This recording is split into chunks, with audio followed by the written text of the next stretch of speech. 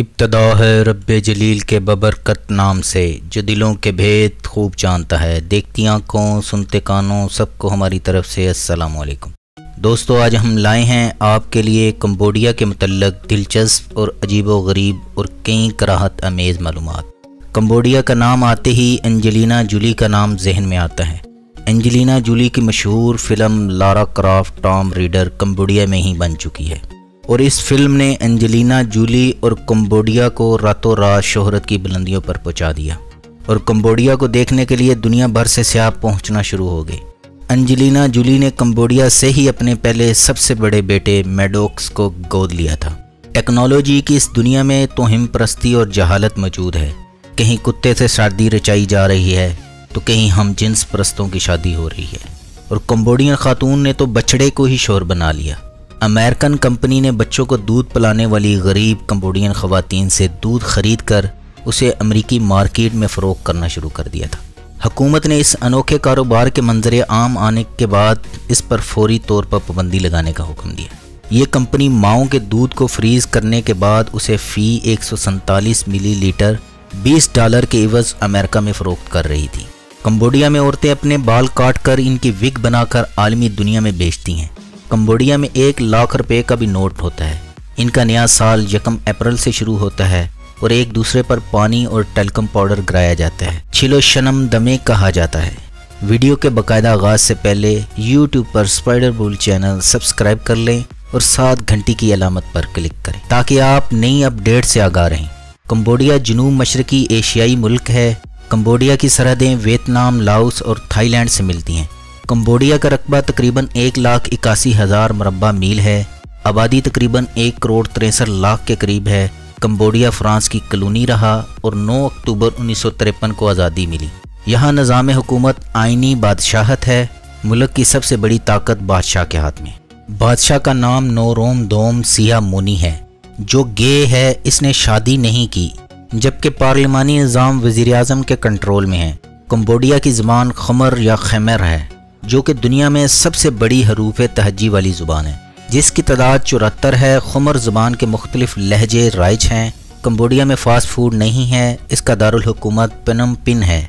पनम pin में बहता 4,880 kilometre लंबा दुनिया का दसवां लंबा तरीन मेंगकोंग दरिया है जो छः ममालक चीन लाउस कम्बोडिया थाईलैंड वियतनाम और म्यांमार से गुजरता है। इन ममालक को मिकांग ममालक भी कहा जाता है। इस दरिया में बार बरदारी के बहरी जहाज़ भी चलते हैं।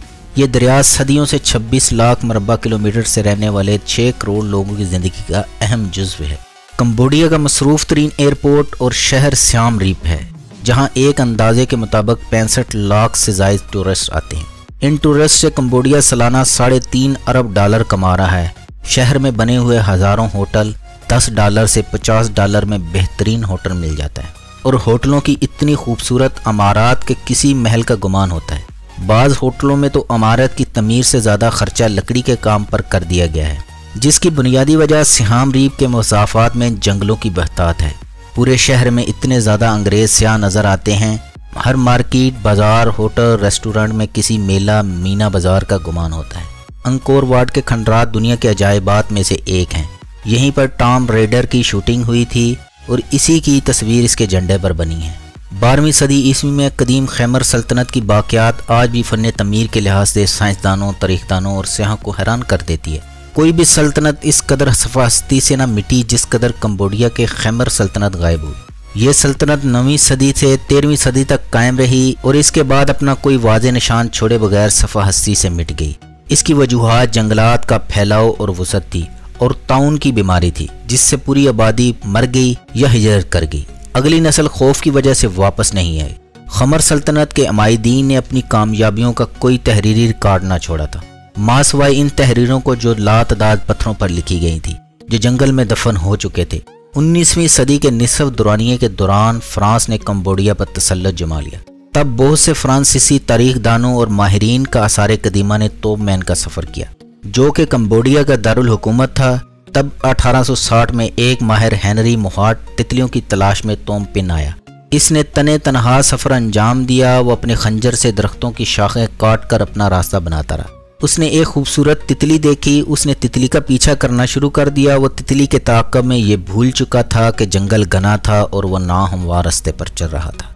इसके बाद वो कोने की जाना मुड़ा तो क्या देखता है कि पत्थरों से तामीर शुदा एक अमारत सर उठाए खड़ी थी। वो आहिस्ता आहिस्ता आगे बढ़ता गया हती कि वो एक खंदक या खाई तक पहुँच गया।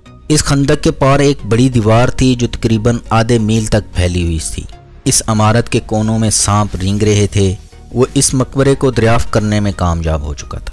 जो इन लोगों ने तमीर किया था, जो 600 बरस से जायद अरसा कबल यहाँ रहाइश पजीर थे। मुहार तोपिन से वापस लौट आया छः माह बाद माहरीन की जमात तोपिन आम पहुँची। 40 बरस के अरसे में ज़मीन के अंदर दफन शहर को बेनकाब कर दिया गया। इसके बाद उन्होंने इबादत गाहें और दिगर शहर भी दराफ्त किए, जो सल्तनत खुमर का मरकज़ थे। पत्थरों पर कुनिंदा तहरीरों का तर्जमा किया गया, जिसकी बदौलत सल्तनत खुमर की तारीख मुरतब की गई। जनूब मशरकी एशिया की तारीख में कम्बोडिया का बहुत बड़ा किरदार रहा है। ग्यारहवीं से तेरहवीं सदी के दौरान थाईलैंड और वियतनाम पर कम्बोडिया के बादशाहों की हुकूमत रही है। कम्बोडिया के दरख्त खूबसूरत परिंदों से भरपूर हैं, जिनमें ज़्यादा अहम बगले, कूचे, तीतर, चकोर, मोर और जंगली बतखें हैं। कंबोडिया के जंगलात में चीते, शेर, हाथी, भेड़िए, खास तौर पर सांप की चार खतरनाक तरीन नस्लों के लिए बहुत मशहूर है। कंबोडिया का पोल पाट जालम तरीन हुक्मरान एक कम्युनिस्ट था। इसकी खुमर रोड या खमरोज तहरीक ने शहरों की बजाय देहात आबाद किए। ऐसे माशरे में कोई डॉक्टर हो या उस्ताद, किसी भी शोबे का माहिर। उसको सिर्फ़ खेतों में ही काम करने की इजाज़त थी, जिसमें ज़रा सी भी अक्ल नज़र आती, उसे भड़का दिया जाता। चश्मा पहने और गैर मुल्की ज़बान बोलने पर भी उन्हें कत्ल कर दिया जाता। पोल पार्ड ने चार साल में लाखों अफराद को फड़काया। खमरोज तहरीक में 20 लाख अफराद मारे गए, जो कि कम्बोडिया की कुल आबादी का 25 फ़ीसद थे। अंजलिना जुली ने कम्बोडिया में खमरोज दौर पर मबनी film first they killed my father बनाई, जो हकीकत पर मबनी है। इस सब के बावजूद देखा जाए तो कम्बोडियन कौम बहुत जल्द दोबारा खड़े होने वाली कौम है। अब मुल्क बेहतरी की जानम गामजन है, अवाम में शूर है, मुल्क से मोहब्बत और जज्बा है। कम्बोडिया में बर्थडे नहीं मनाई जाती कम्बोडिया में जीने से ज़्यादा मरना महँगा है। तदफीम पर रसूमात की जाती हैं, फिर सातवां किया जाता है, फिर सोवा की रस्म पर अखराज तकरीबन नौ हज़ार डॉलर तक आते हैं, जो पाकिस्तानी दस लाख बतालीस हज़ार रुपये बनते हैं। पेनम पेन का शुमार एशिया के सबसे तेज़ी से फैलते फूलते शहरों में होता है, जिसका मतलब है यहाँ पुरानी इमारतों को ढाकर, धड़ाधड़, नई इमारतें बनाई जा रही हैं और पुराने बासियों को निकाल कर उनकी जगह सरमायाकार आ रहे हैं, जिनसे तकरीबन सात लाख शहरियों को दूसरी जगहों पर मुंतकिल होना पड़ा। कम्बोडिया का कौमी फूल मटरीला मसनाई है। सेम रीप की आबादी चार लाख है। शहर में मकामी आबादी से ज़्यादा स्याह नज़र आते हैं। जिसकी वजह शहर और गर्दनवा के जंगलात में वाक़ अंकोर वट के मंदिर हैं। पूरा शहर होटलों और रेस्टोरेंट से भरा हुआ है, हर तरफ़ स्याहों से भरी बसें हैं और चिंग ची से लुत्फ उठाते हैप्पी स्याह हैं। ये स्याह सारा दिन अंकोर के खंडरात खंगालते रहते हैं और शाम डले मरकजी बाज़ार में वाक़ रेस्टोरेंट में आ जाते हैं। शहर की तकरीबन तमाम आबादी सियाहत के शोबे से वाबस्ता है। होटल, रेस्टोरेंट, क्लब, खाने, टूरिस्ट, बसें, गाइडिंग टुक टुक हर रोज़गार सियाहत से जुड़ा हुआ है और कम्बोडिया की मीशत को सालाना अरबों डॉलर कमा कर देता है। गुजश्ता चंद बरसों से यहाँ जिसम फरोशी के कारोबार में बेपनाह इजाफा देखने में आया है। इसकी वजह सियाहत के कारोबार की वसत है। चूँकि सियाती शहर है, हर वक्त यूरोपी सियाहों से भरा रहता है। इसलिए सेम रेप में आपको हर तरफ़ शराब खानों और क्लबों की बड़ी तादाद नज़र आएगी और इनके बाहर मुंडलाती कम्बोडियन औरतें नज़र आएँगी, जो जिसम फरोशी का काम करती हैं। कम्बोडिया की सियाती इंडस्ट्री में टॉम रेडर की वजह से कुछ ऐसी तब्दीलियाँ रूनुमा हुई, जिससे यूरोप ने कम्बोडिया का रुख किया और सेहत के साथ जिसम फरोशी भी अरूज पर पहुँच गई। पुरअमन और टूरिस्ट मुल्क है, लोग अच्छे और मददगार हैं कम्बोडिया गरीब नहीं, बहुत अमीर मुल्क है। क्योंकि इसके प्राइमरी स्कूलों में तलीम की बजाय तरबियत पढ़ाई जाती है, पहले कम्बोडिया बहुत गंदा मुल्क था, हर जगह कूड़े के ढेर थे, लोग सफ़ाई का ख्याल नहीं रखते थे।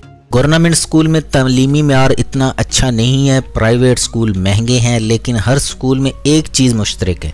पंद्रह साल पहले स्कूलों में एक तहरीक शुरू हुई। तालब इलमों की तालीम से ज़्यादा तरबियत पर ज़ोर दिया गया। बच्चों को सड़क बाज़ार पर चलने के आदाब सिखाए गए। कूड़ा करकट फेंकने का तरीका समझाया गया। पंद्रह बीस साल लग गए, लेकिन एक नस्ल संवर गई। गोया कम्बोडिया का मुस्तबिल महफूज हो गया। अब रास्तों में गंदगी नज़र नहीं आती ट्रैफ़िक बहुत ज़्यादा है, मगर बेजा खान का इस्तेमाल नहीं होता।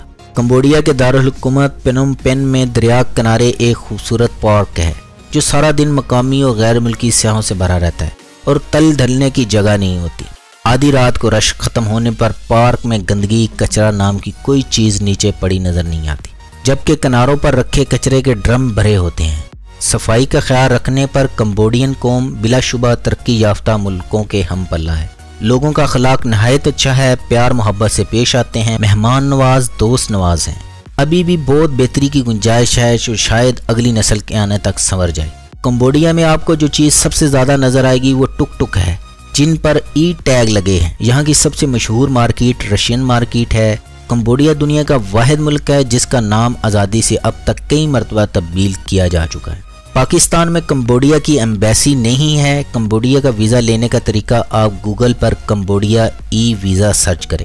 जिस वेबसाइट पर जी ओ वी डॉट उस मुल्क का डोमेन नेम के एच आए, उस पर क्लिक करें और एप्लीकेशन फॉर्म को फिल करें। अपनी एक पिक्चर लगाएँ और अपने पासपोर्ट की मालूम दें और अप्लाई कर दें। दो दिन में वीज़ा मिल जाता है। 50 डॉलर इसकी कीमत है। बाकी टिकट के पैसे जो लगेंगे। और याद रखें, पाकिस्तान से ही होटल की ऑनलाइन बुकिंग करवाना ज़रूरी होता है। बेहतर है आप किसी दूसरे मुल्क का भी वीज़ा भी लें, ताकि आपको चंद हज़ार रुपये में दूसरे मुल्क की सैर का भी मौका मिल जाए। बैंकॉक और मलेशिया का वीज़ा इस्लामाबाद में आसानी से मिल जाता है। फ़्लाइट की कोई मुश्किल नहीं है। पनम पेन श्याम रीप को रोज़ाना दर्जनों फ़्लाइट जाती हैं। कम्बोडिया का अमीर तरीन शख्स कित मैंग है? कम्बोडिया का जीडीपी 20 अरब डॉलर है। कम्बोडिया टेक्नोलॉजी में छियानवे नंबर पर है। करप्शन में 140वें नंबर पर है, शख्सी आज़ादी में 110वें नंबर पर, कारोबारी आज़ादी में बहत्तरवें नंबर पर। इसकी करेंसी का नाम कम्बोडियन रियल है। एक डॉलर तकरीबन चार हज़ार कम्बोडियन के बराबर है और एक रुपये में चौंतीस शारिया तिरसठ कम्बोडियन बनते हैं। महँगाई बहुत कम है, कई चीज़ें पाकिस्तान से भी सस्ती हैं, तीन हज़ार पर डे में बेहतरीन रहायश खाना और सैर बड़ी आसानी से कर सकता है। दारुलकूमत में वाक़ स्काई स्कीपर कम्बोडिया की सबसे ऊँची बिल्डिंग है और कम्बोडिया में ही दुनिया की सबसे ऊँची बिल्डिंग बनाई जा रही है, जिसकी 133 मंजिलें और ऊंचाई अठारह सौ सैंतीस फुट होगी। मछली से पाँव का मसाज करवाना कभी भी मत भूलें।